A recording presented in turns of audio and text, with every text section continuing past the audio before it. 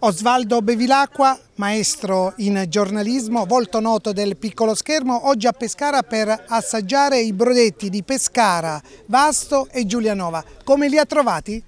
Interessantissimi perché tutti diversi e la diversità serve perché è stato soprattutto un racconto da parte degli chef che hanno preparato questi piatti, si, si vede con molta passione perché dentro ci sono le radici dei loro antenati, dei loro nonni, bisnonni e stanno portando avanti una tradizione.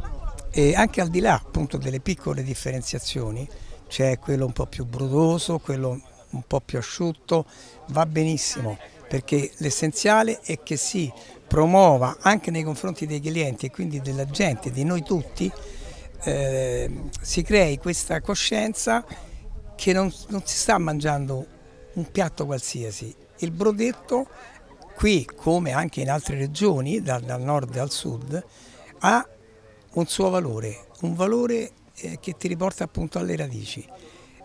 E quindi è, è un piatto che va eh, gustato, va assaporato in tutte le sue accezioni diverse, eh, in tutte le interpretazioni, sapendo che in quel momento tu stai assaggiando qualcosa che i nostri bisnonni, già alla fine dell'Ottocento, quindi anche ancora indietro, avevano creato, perché qui si vede l'incontro, ed è bello questo, del mare e della terra, del contadino, del pescatore, insieme, che hanno concorso a formare un piatto che è la storia dell'Abruzzo o delle altre regioni e soprattutto l'Abruzzo deve essere orgoglioso di avere tante interpretazioni perché si vede che è nel loro DNA degli abruzzesi questo. Allora cerchiamo di farlo conoscere sempre di più e, e soprattutto ci si, ci si, rivolge a questo piatto con meditazione, cioè devi, devi pensare perché c'è quel pesce invece di un altro,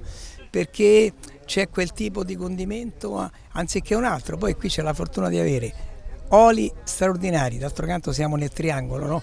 dell'olio e quindi dell'oro e, e, quindi questo è molto importante perché eh, l'Abruzzo ha il mare, promette mare e montagna e mantiene la promessa che mare e che montagna. Poi e poi hai, dammi del tu, e poi hai eh, la, la fortuna di questo territorio dove c'è tutto, appunto come dicevo, oltre che al mare, ma anche i sapori della terra, il vino, l'olio, il pane, cioè è, è qualcosa di straordinario.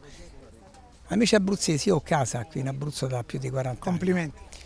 Ho scelto l'Abruzzo, quindi non mi ha scelto l'Abruzzo, adesso invece mi, mi sceglie l'Abruzzo, ma inizialmente l'ho scelto io. E vi invito a rendervi conto, perché voi a parole lo dite, io ne parlo perché sono amico da una vita degli abruzzesi, allora si parla sempre eh, dell'orgoglio abruzzese, però poi non vi rendete conto invece di, di quello che può diventare in termini economici questo, questa vostra predisposizione nei confronti del forestiero che arriva, che, che viene apposta qui ad assaggiare queste meraviglie.